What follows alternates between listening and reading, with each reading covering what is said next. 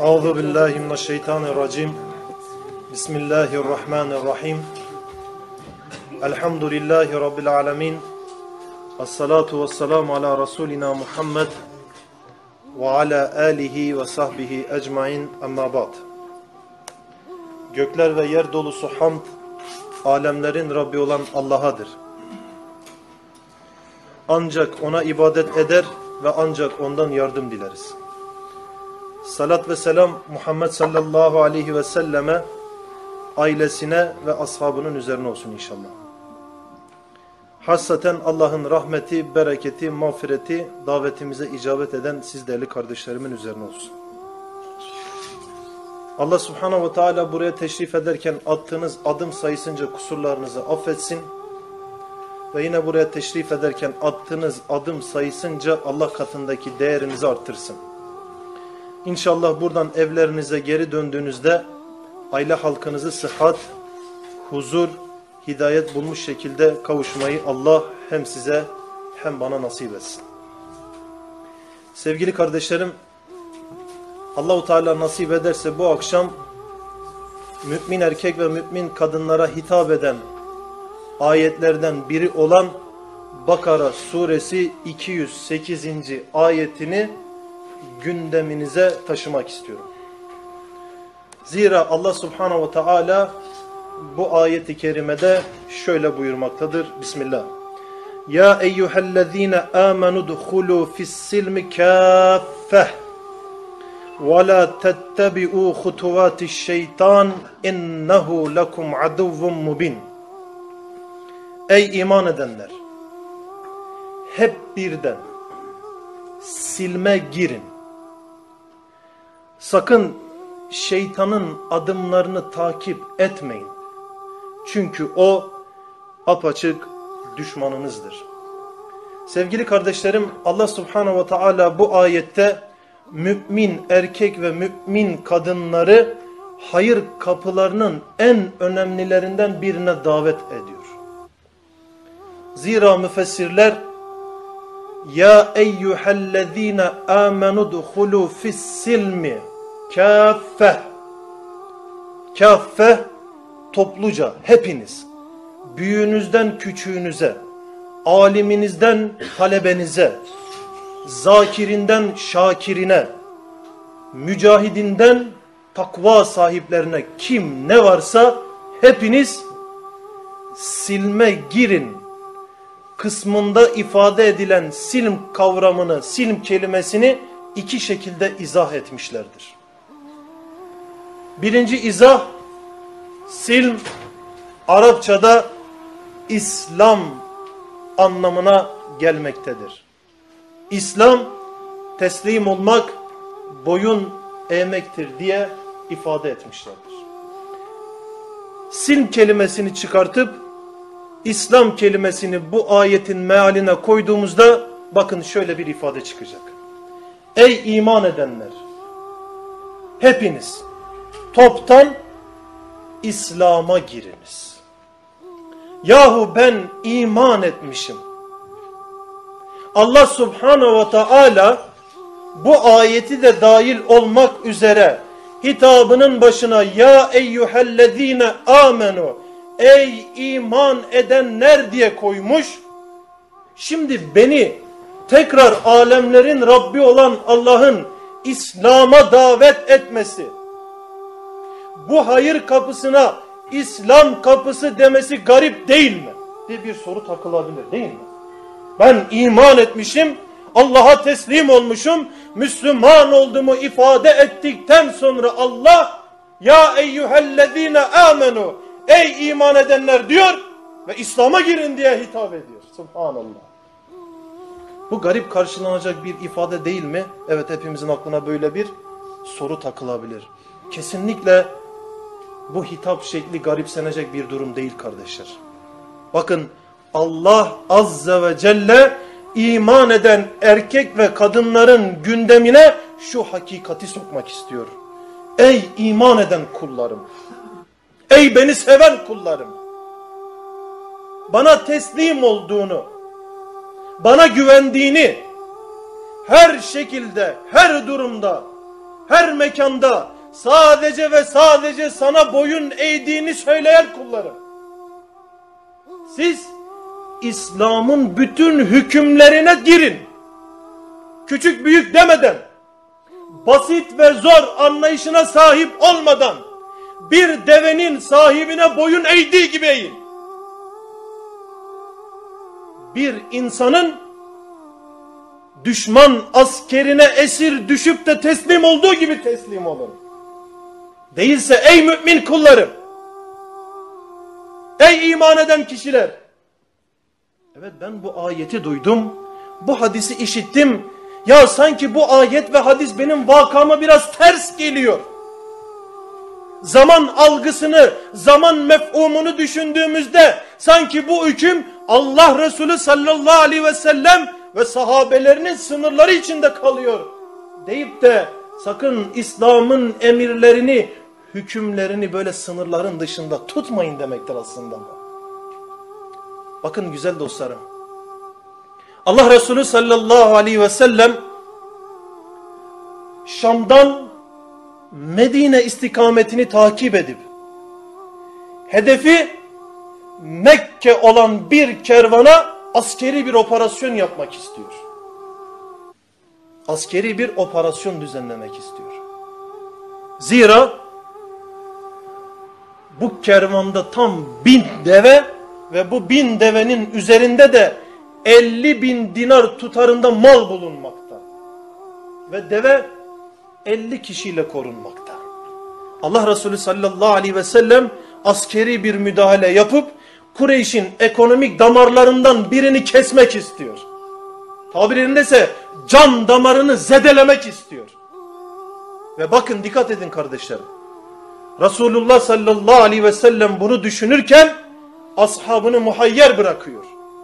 İsteyen savaşa katılır, operasyonda yerini alır, isteyen Medine'de oturur, katılmayan da hiçbir zaman kınanmayacaktır.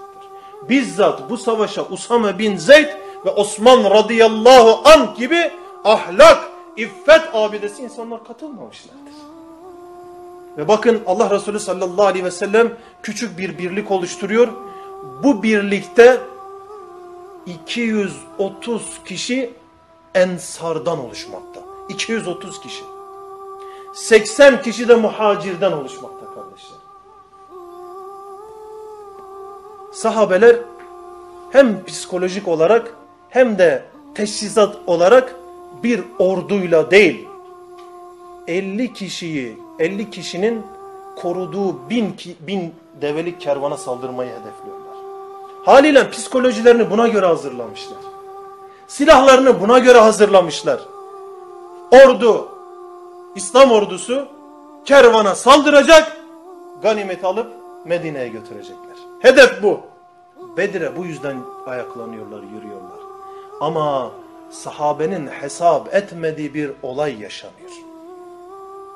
Allah'ın muradı bu değil.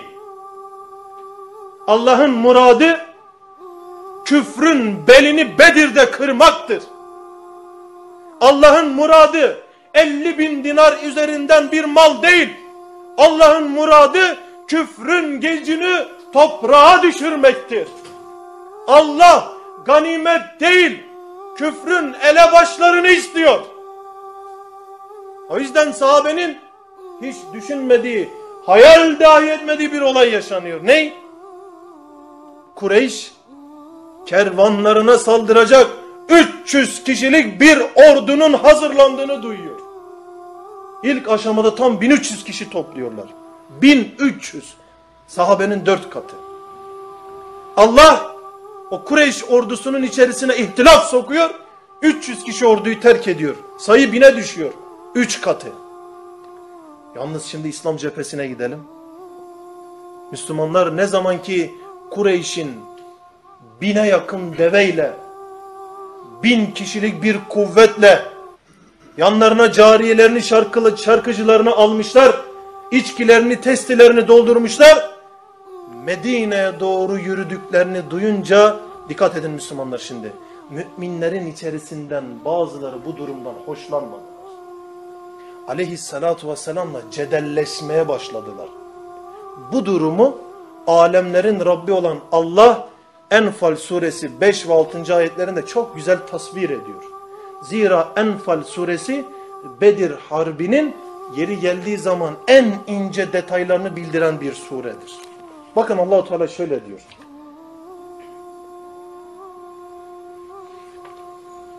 Nitekim Rabbin seni hak uğrunda evinden çıkarttı.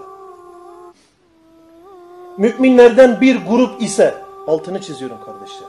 Allah münafıklar demiyor. Çünkü o dönem daha münafıklar ortlamadı. Daha yoklar.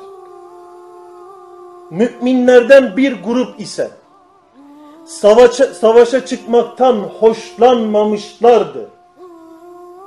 Hak meydana çıktıktan sonra onlar gözleri yuvalarından fırlamış, ölüme sürükleniyorlarmış gibi seninle mücadele ediyorlardı diyor Allah. Subhanallah. Kim bunlar? Sahabenin içerisinde iman eden bir grup. Şimdi bakın kardeşler.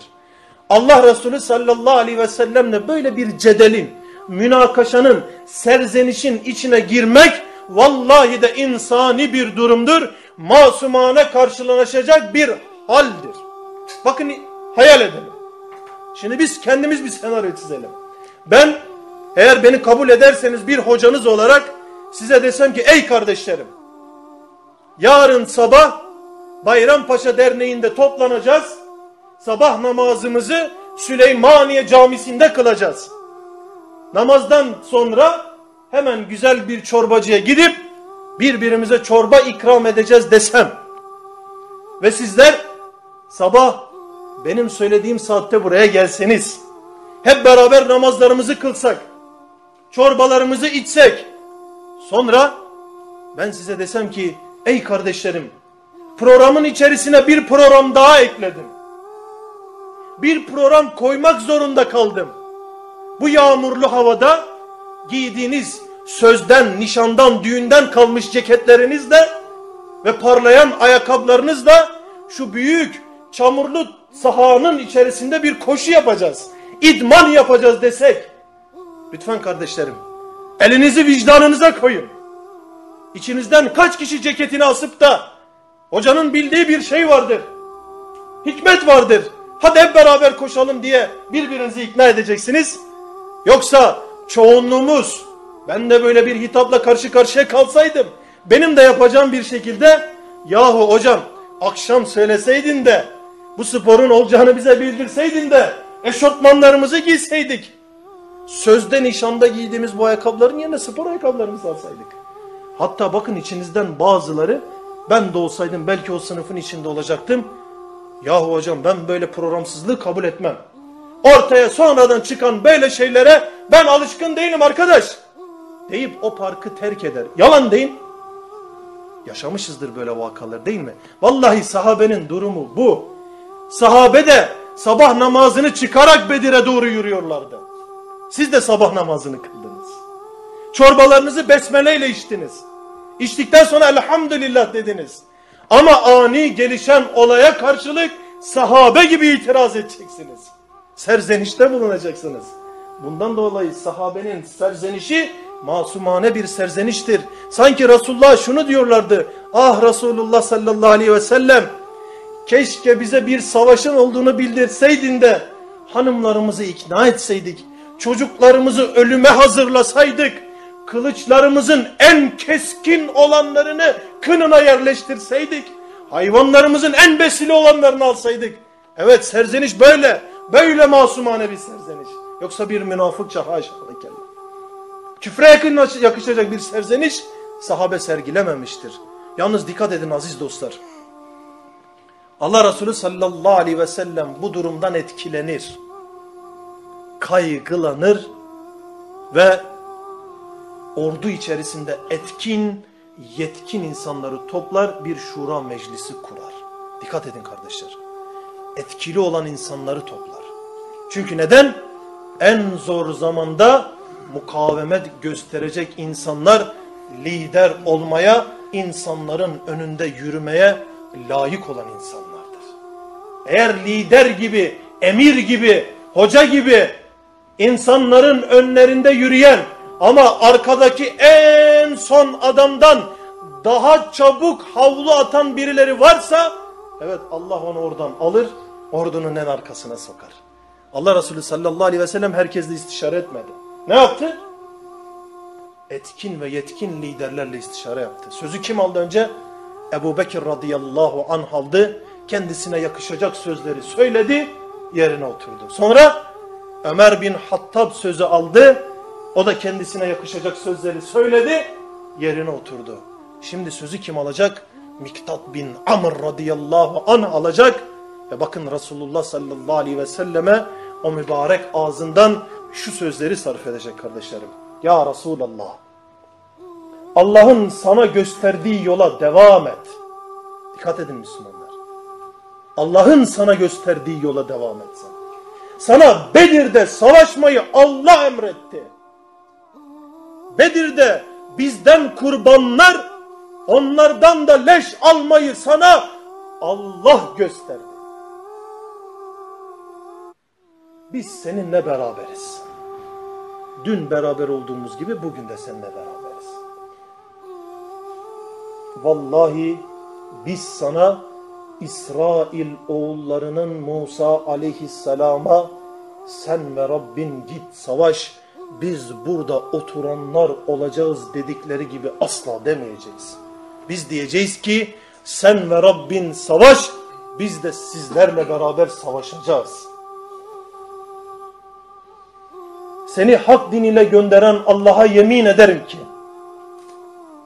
bizi Berkul Gıma'da kadar yürütsen biz de oraya varıncaya kadar seninle birlikte zorluklara katlanırız sözlerini bitirdikten sonra Allah Resulü sallallahu aleyhi ve sellem miktada döner bu sözleri sarf ettiğinden dolayı ona hayır duada bulunur.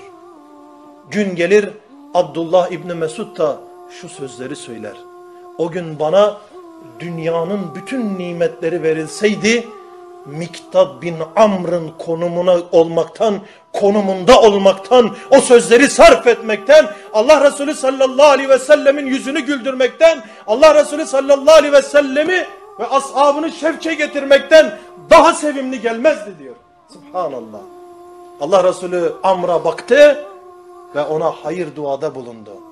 Yalnız Allah Resulü sallallahu aleyhi ve sellemin kaygısı halen geçmedi. Neden? Muhacir zaten Resulullah'ın elindeki bir asa gibiydiler. Aleyhissalatu vesselamın kendi ifadesi tenine değen bir iç çamaşırı gibiydi zaten muhacir Resulullah'ın gözünde. Her yerde Resulullah'la beraberler. Bir bulut gibi Resulullah'ı takip ediyorlar. Ve küfre karşı gerilmiş bir yaydılar. Kendisini bırakacak bir eli bekleyen ok gibiydiler. Hedefe saplanıp hedefi darmadan etmek istiyorlardı. Ama sayıları 80'di. Büyük çoğunluk ensardan oluşuyordu. Sayı 230 civarındaydı. Ve bakın dikkat edin Akabe beyatında aleyhissalatu vesselama Medine sınırlarında yardım edeceklerine dair söz verdiler. Savaş nerede? Medine'nin dışında Bedir kuyularının yanında. Olur ya şimdi Resulullah aleyhisselam düşünüyor. Acaba ensar muhacir gibi kayıtsız ve şartsız teslim mi olacak? Yoksa bir takım akli gerekçeler ortaya koyarak geri adım mı atacak? Resulullah Aleyhisselam döndü. Dedi ki ey insanlar bana görüşünüzü söyleyiniz. Ey insanlar bana görüşünüzü bildiriniz diye hitap eder. Bu sefer kim kalkar? Ensar'ın efendisi Sad bin Muaz radıyallahu anh kalkar Der ki ya Resulallah herhalde sen bize hitap ediyorsun. Bize sesleniyorsun. Sanki ilgiyi bizden bekliyorsun. Yani ensardan bekliyorsun der. Allah Resulü sallallahu aleyhi ve sellem evet der. Ne olur kardeşler şimdi Sad bin Muaz'ın sözlerine doğru yüreklerinizi birleştirin. Sad bin Muaz bakın şu sözleri söylüyor.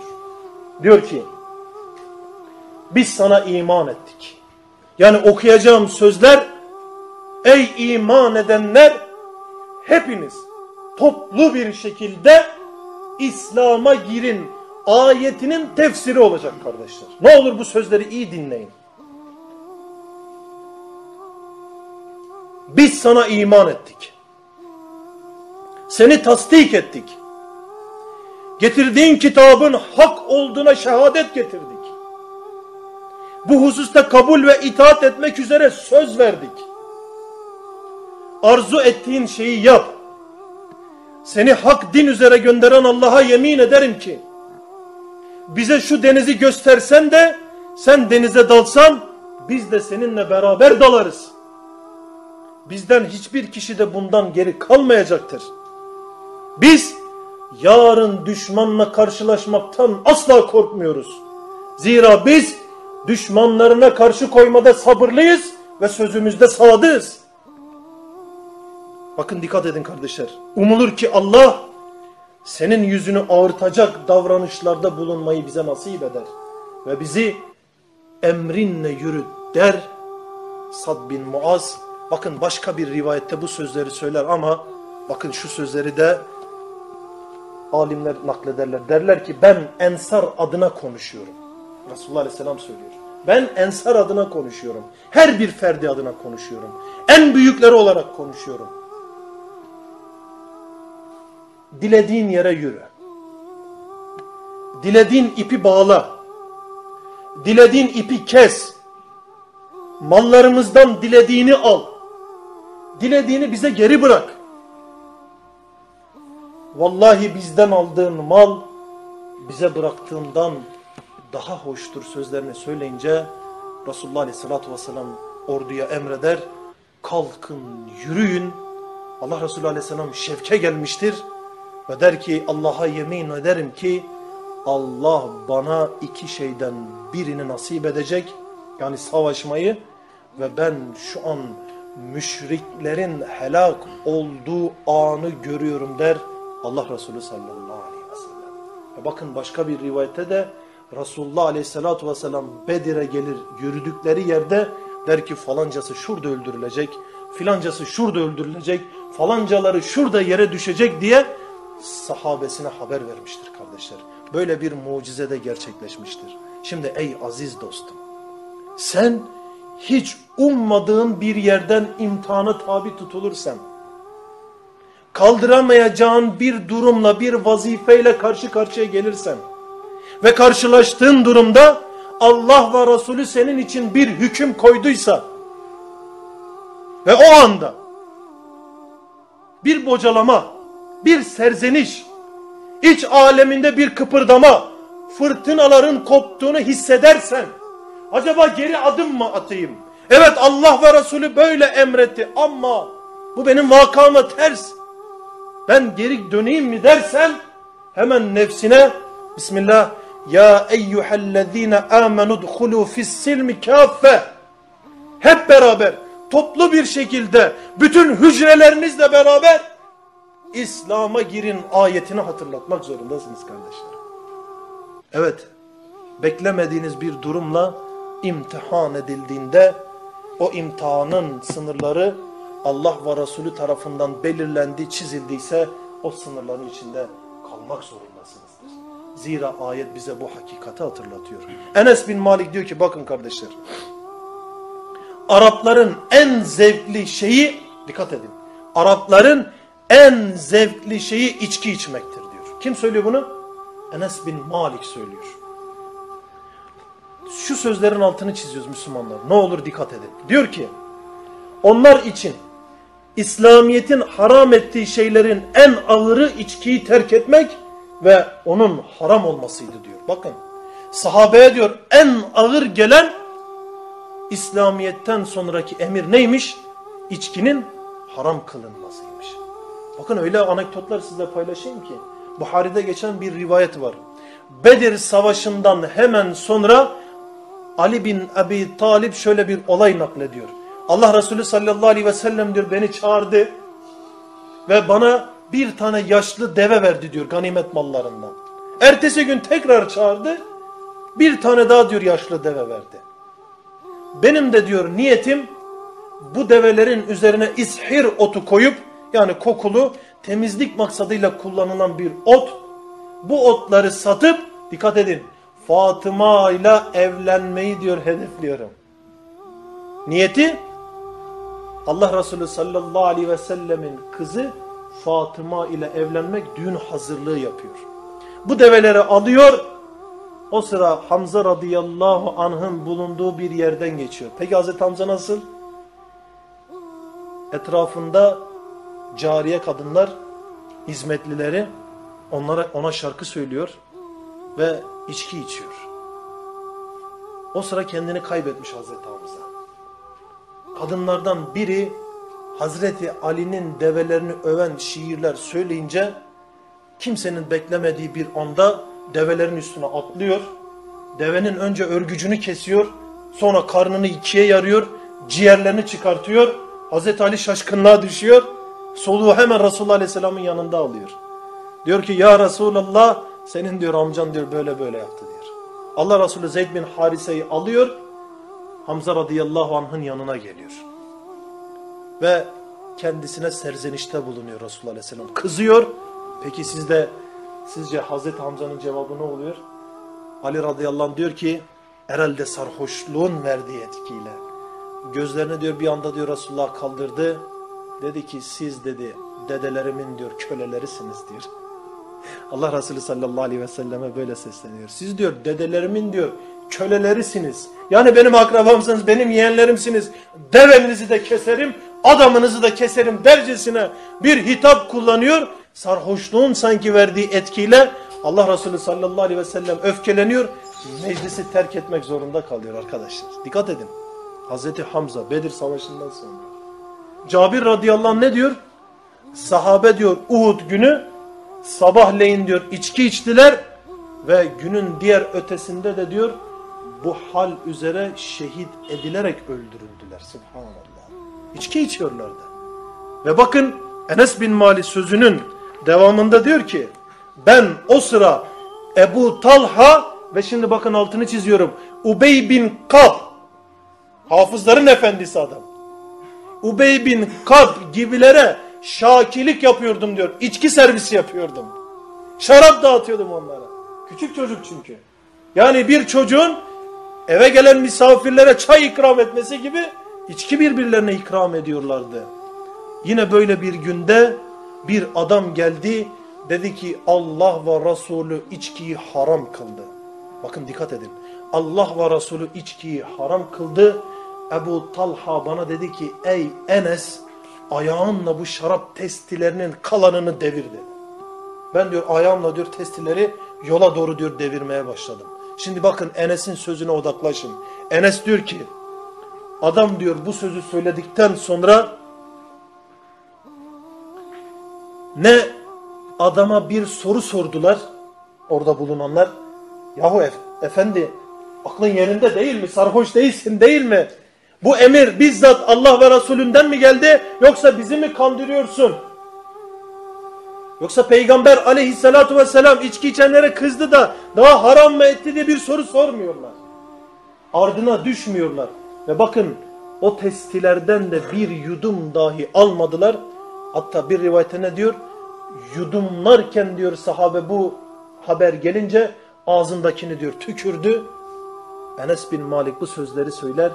E şimdi ey aziz dostum sen nefsinin kaldıramadığı, huy edindiğin, ahlak edindiğin, alışkanlık haline getirdiğin bir olayın haram kılınmasıyla ilgili bir rivayetle karşılaşırsın da yahu ahlakımdan vazgeçemiyorum. Alışkanlıktır hocam. İslam görmezden gelir deyip bunun arkasına yatıyorsan o zaman bu ayeti tekrar düşün. Allah diyor ki ey iman edenler hepiniz toplu bir şekilde İslam'a girin. Bu ayeti bu şekilde anlamak zorundasınız.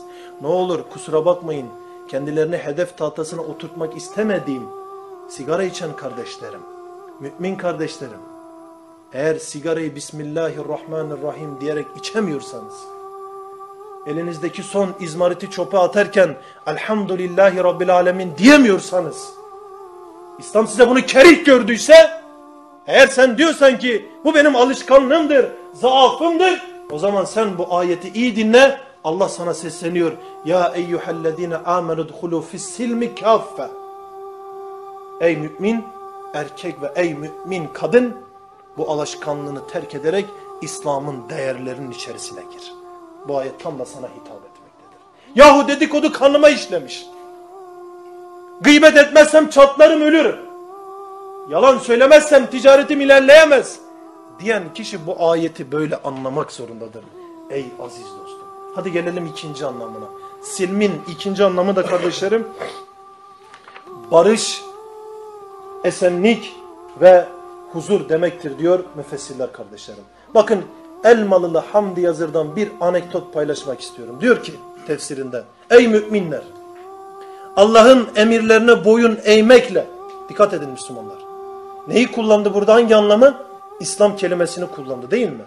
Allah'ın emirlerine boyun eğmekle öyle mükemmel bir sosyal görünüm, öyle muntazam bir İslam yurdu meydana getiriniz ki Allah'ın emirlerine uyarak öyle mükemmel muntazam bir İslam yurdu getiriniz ki aranızda isyandan, kavgadan, anlaşmazlıktan, birbirinize eziyetten, eğrilikten, Allah'ın haklarına ve kulların haklarına tecavüzden, kısaca Allah rızasına aykırı hareketlerden eser bulunmasın. Subhanallah.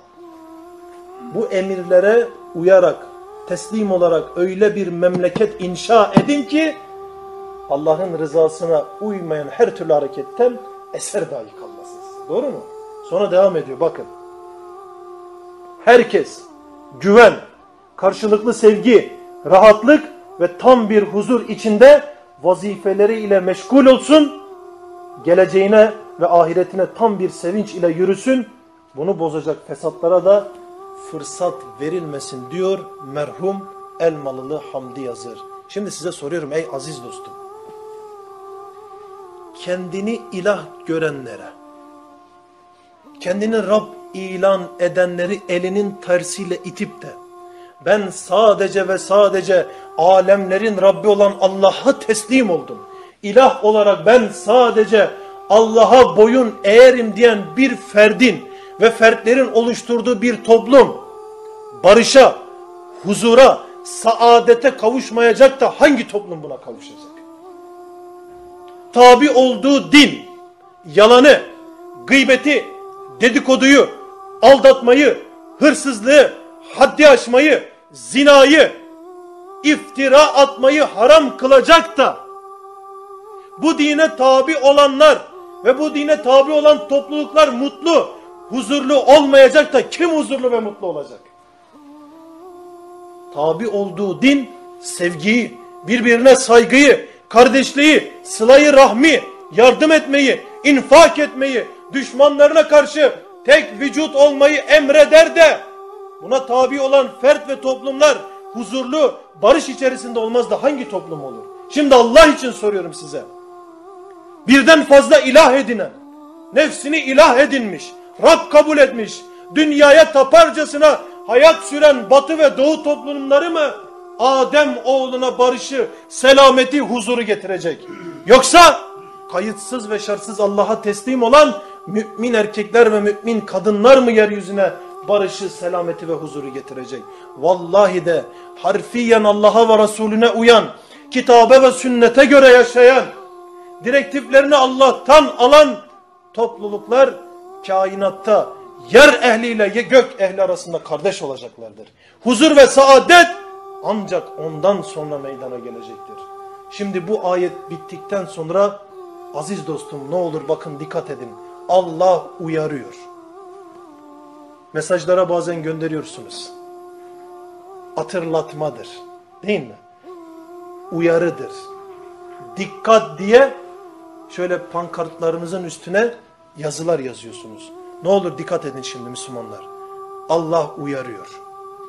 Ey mümin Allah uyarıyor. Ey Müslüman kardeşim gözünü aç. Allah uyarıyor. Ey mümin kardeşim uykuyu terk et. Allah şimdi seni uyaracak. Ey müminler! Ben alemlerin Rabbi olan Allah'a ciddi manada teslim olamayışınızın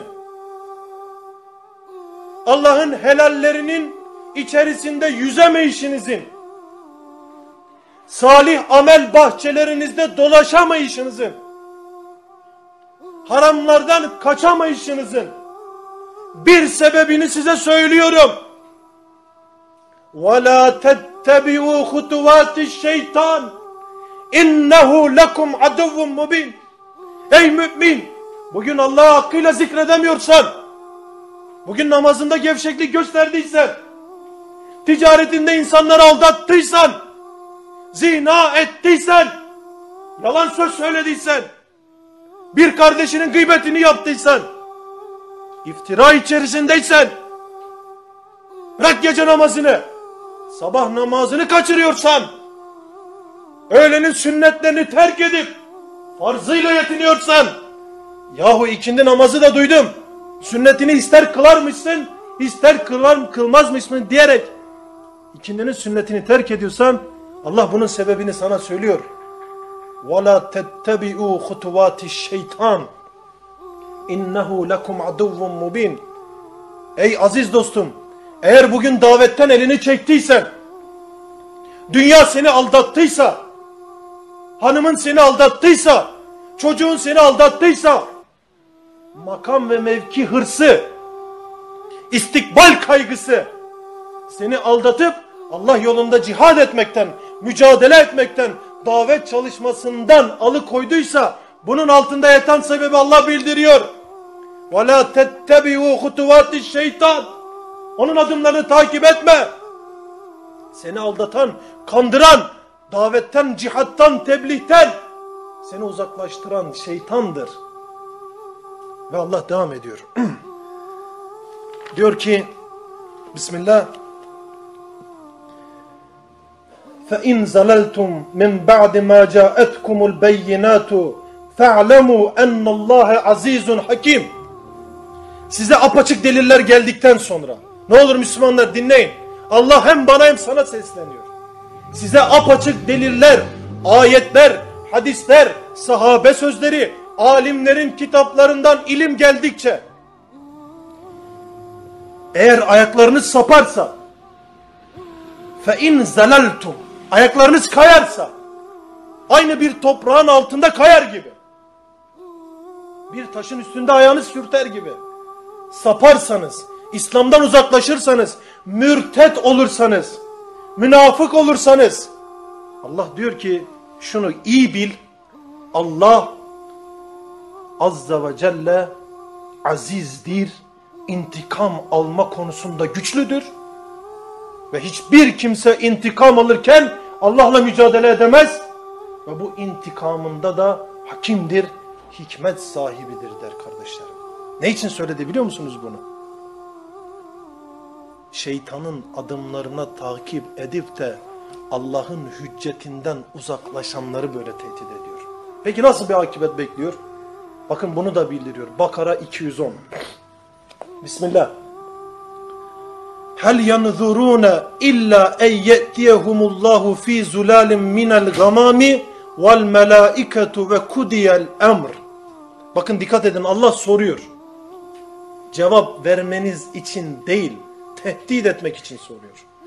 Onlar yani şeytanın adımlarını takip edenler, ayakları sapan ve kayanlar, ille de bulutlar içinde Allah'ın ve meleklerinin gelmesini mi bekliyorlar diyor.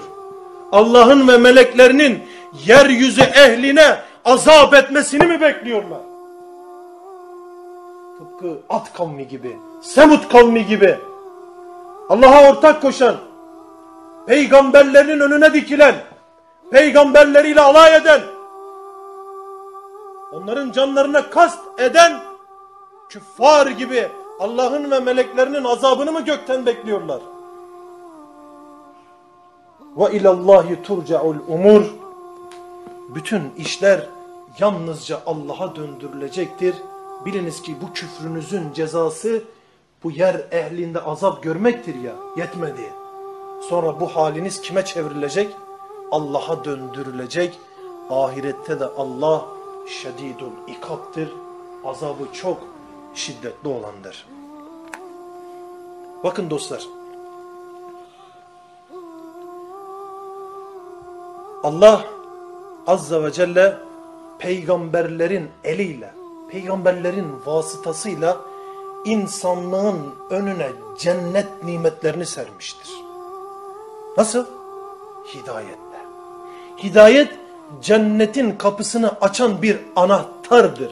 O anahtarın taşıyıcılığını Allah peygamberlere, peygamberlerin yolunu takip eden davetçilerin eline vermiştir. Bakın her bir peygamber وَمَا اَرْسَلْنَاكَ اِلَّا رَحْمَةً لِلْعَالَمِنdir. Yeryüzüne gönderilmiş bir rahmettir, bir berekettir, bir lütuftur. Kim için? Adem oğlu için.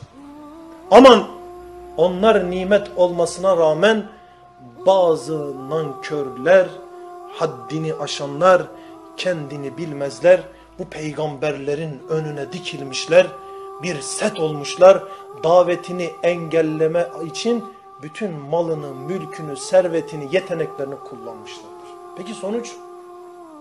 Davet yürümüştür, akide yeryüzüne hakim olmuştur ama ona engel olan gözleri Allah yuvalarından çıkartmıştır.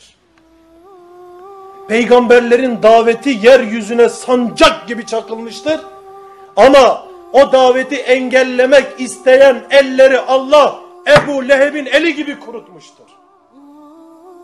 Peygamberlerin daveti muzaffer olmuştur. Ama onu engelleyen zihniyet kör, sağır, dilsiz, ahmak bir kütük gibi yere düşmüştür.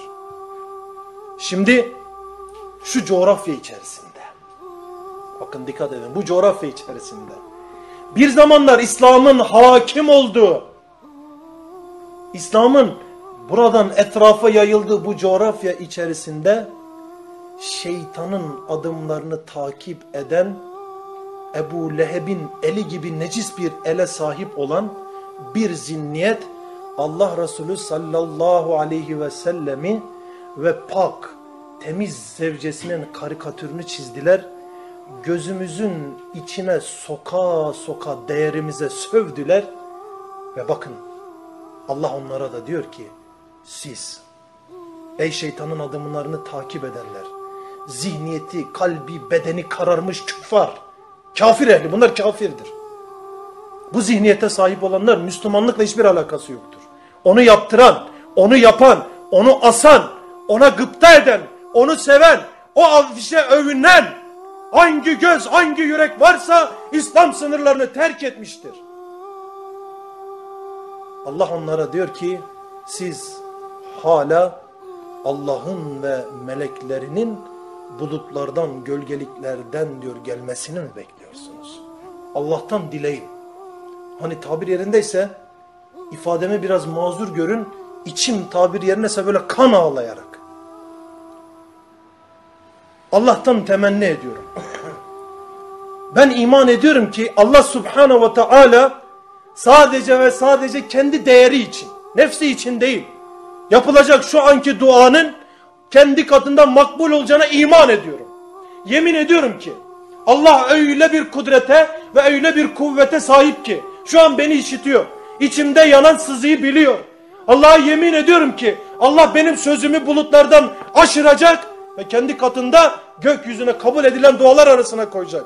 Ya Rabbi senin peygamberini hicveden yeryüzüne rahmet tepsisini taşıyan cennet anahtarını sana ve bana gönderen Peygamber aleyhissalatu vesselama küfreden o tak temiz yüzyıllar önce münafıklar tarafından kalbi incitilen o saliha kadına söven zihniyetin ilim ehlinin önderlerinin o karikatürü benimseyen bütün mensuplarının Allah Ebu Cehil gibi ellerini kurutsun.